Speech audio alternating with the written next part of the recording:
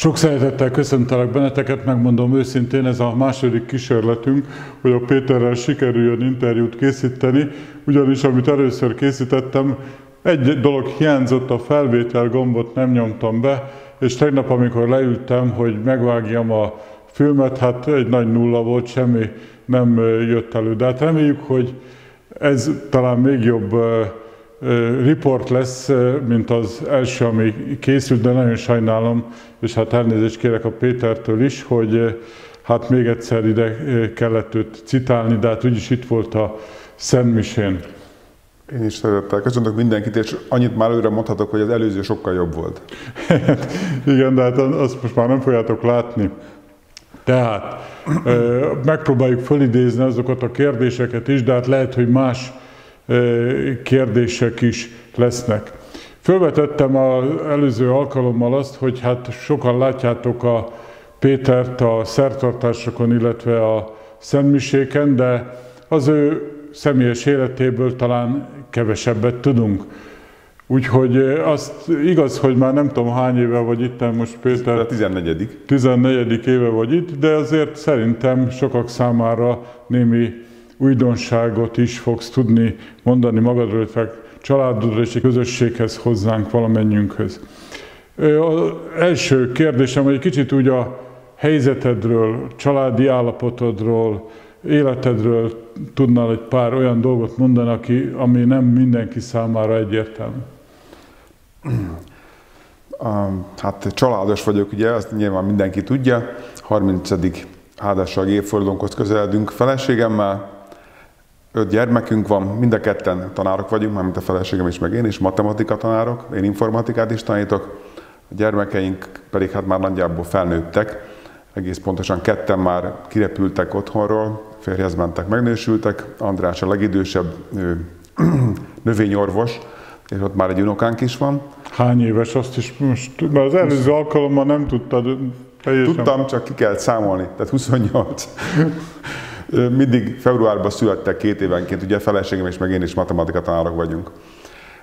Ugye a második legidősebb gyermek Pali, ő matematikus, ő is végzett, aztán Anna következik, ő matematika, fizika szakos tanárként éppen most diplomázik, ő már férjhez ment, és a két kisebb pedig Erzsébet és Teréz, építőmérnöknek tanul Erzsé, Teri pedig matematika magyar szakos.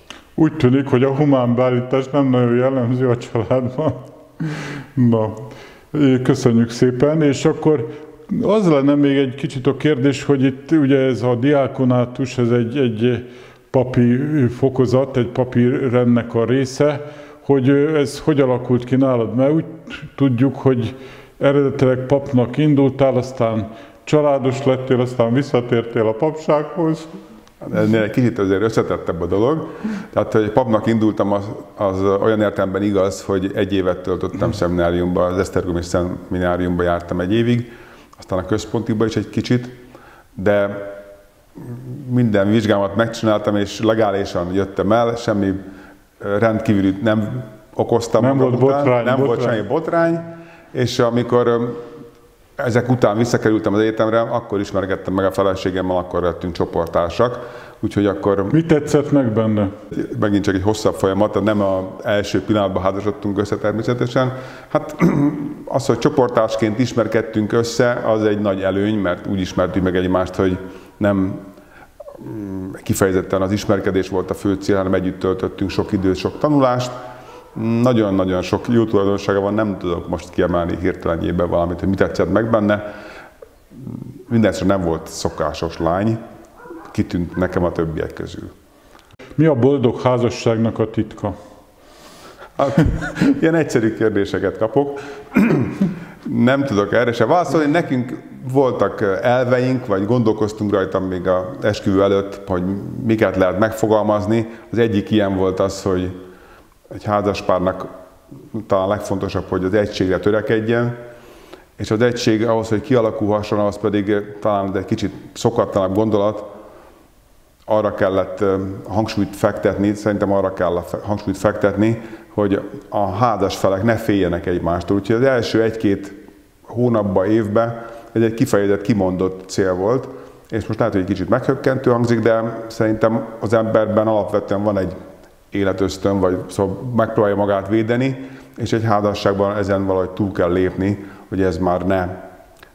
Tehát valahogy természetes legyen az, hogy egymásra vagyunk utalva, rámerjük bízni magunkat teljesen a másikra. Diákonusnak a szolgálatát, azt hogy látod és miben látod, mennyire más, mint egy tanári hivatás, vagy mennyire, vagy úgy, sok mindenben hasonlít egymásra? Hát ezen is volt időm gondolkodni az elmúlt évek alatt, úgyhogy én úgy látom, hogy a diakonus szolgálat az egy kicsit jellegzetesebben jeleníti meg a keresztény szolgálatot, tehát a szolgálat a lényege, én úgy érzem, hogy anélkül, hogy a középpontba kerülnénk, anélkül, hogy mi lennénk esetleg a, akik megformálnak egy eseményt vagy egy folyamatot, részt vegyünk benne, és ahol tudunk, segítsünk. Jézus, Jézus is szolgálni jött, és szerintem ez a momentum, amit a diakonus megjelenít a papság révén. Végső befejező kérdésünk, hiszen nem akarjuk ezeket a videókat túl hosszúra, pár lenne még rengeteg kérdésem, de hogyan látod a mai világot, a mai helyzetet, melyek a mai világnak a kihívásai, esetleg nehézségei? Mi a mai kornak a nehézsége? Hát nem gondolom azt, hogy a mm, ember, mint ember olyan rengeteget változik az korok szerint, úgyhogy a nehézség az szerintem alapvetően a az, hogy az ember önmagára gondol elsősorban, és nehéz túllépnünk azon, hogy önzők vagyunk.